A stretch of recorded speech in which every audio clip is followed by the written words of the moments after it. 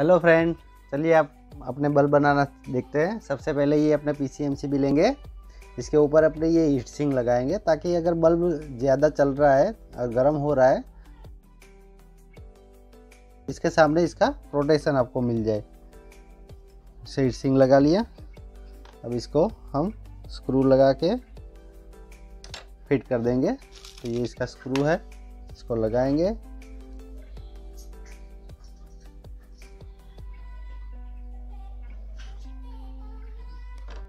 अब हम ड्राइवर लगाएँगे।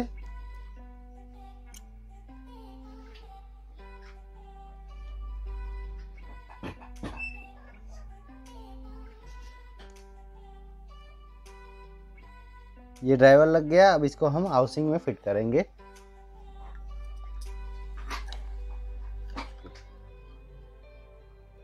अब इसके पीछे अपने बी ट्वेंटी टू कैप लगा के देखेंगे।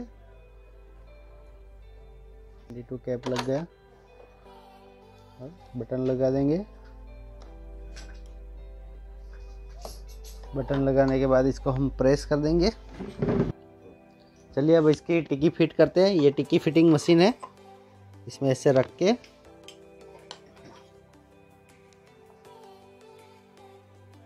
ये हो गई टिक्की फिटिंग अब इसको पंच करेंगे यहाँ से। ये पंचिंग मशीन है। इसको यहाँ रख के हल्का सा ऐसे कर दिया। अभी ये देखो पंच हो गया, अभी ये हिलेगा नहीं।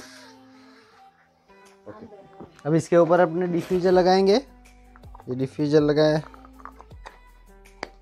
चेक कर लेते हैं।